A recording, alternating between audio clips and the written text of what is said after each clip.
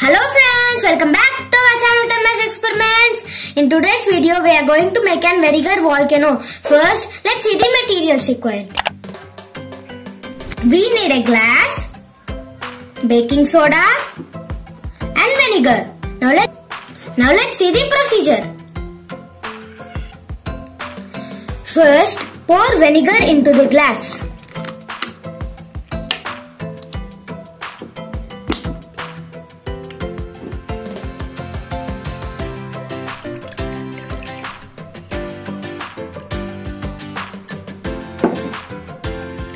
Now put baking soda into the glass. Before putting baking soda, let's see what's happening in this experiment. The baking soda is a base while the vinegar is an acid. When they react together, they form carbonic acid, which is very unstable. It instantly breaks apart into water and carbon dioxide which creates all the fridging and as it escapes the solution. For extra effort, you can make a realistic looking volcano.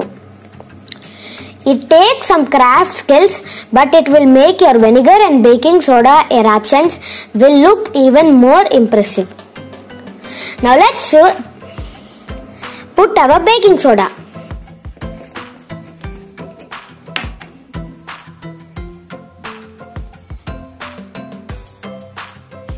Bye.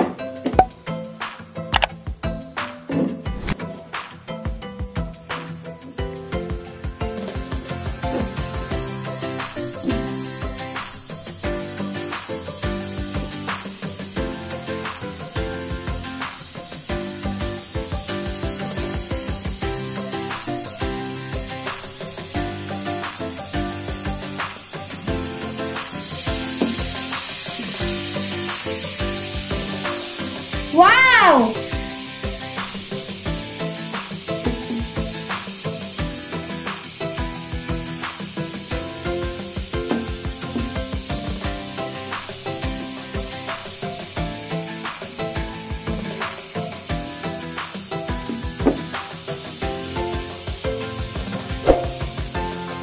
Yes, our experiment has succeeded.